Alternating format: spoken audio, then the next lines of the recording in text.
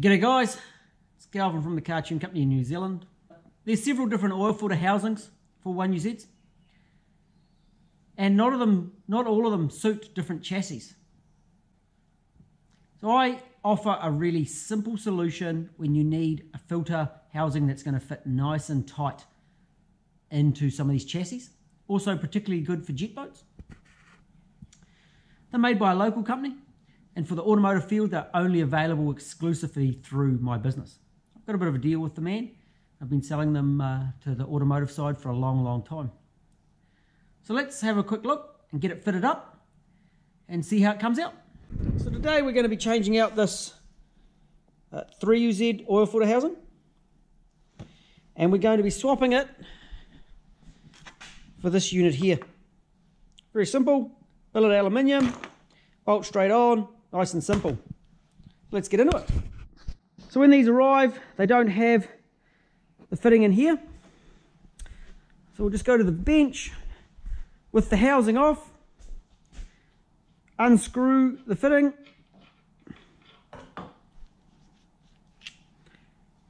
I'll give it a quick clean.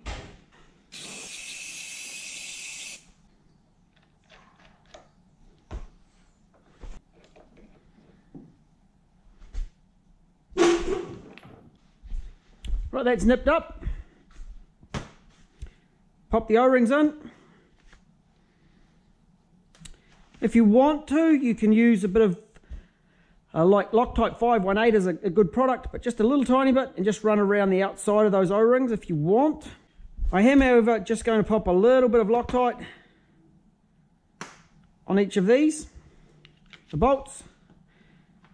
Be careful to make sure that the the sealing washer is in place.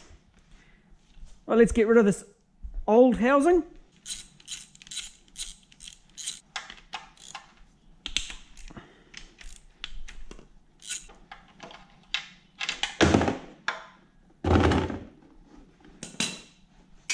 That housing's out of the way.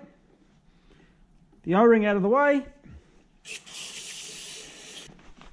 Clean and a wipe. And you'll see if you go to put that on there, that the, the stud is going to cause us an issue. So I'm whipping the stud out. And normally we'd also use the insert out of the original filter housing.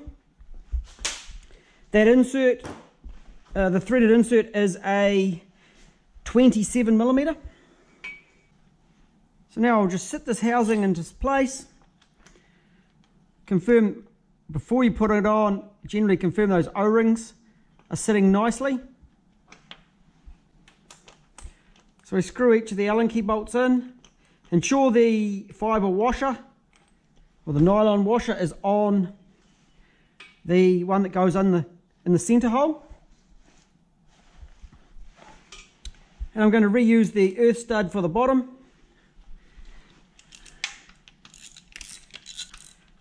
Tighten everything up appropriately.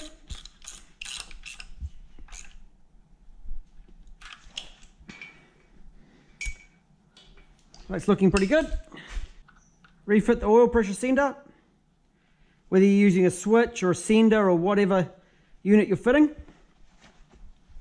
This one's getting a pressure sensor. It's going into a race car and that's going to be the only sensor that's going to run to the ECU. And I'm putting this on so I've got the exact unit that the race car has got on it.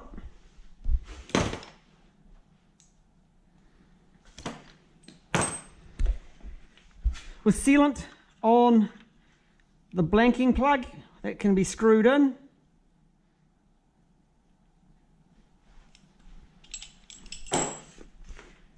And refit an oil filter to it. I'm using a little short oil filter on this particular one and I've of course lubricated that surface.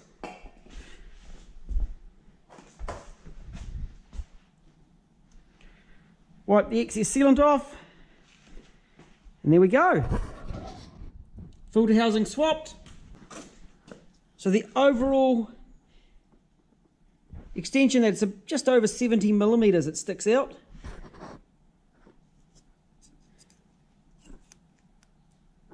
like 72 millimeters. And it comes forward with the short oil filter. It's behind uh, the crankshaft.